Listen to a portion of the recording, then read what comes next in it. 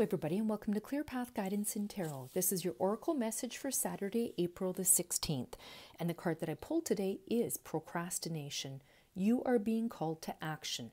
There have been important tasks that you have delayed, even if it is something that you don't want to do, like cleaning the house, paying the bills, looking for a job, losing weight, doing your tax, studying, etc.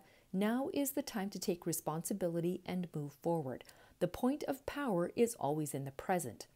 This card is showing you that there is an urgency for you to take action.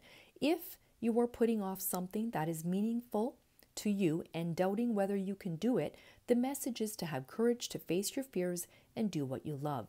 What is the worst thing that can happen? You make a mistake. Even if you do, you will learn.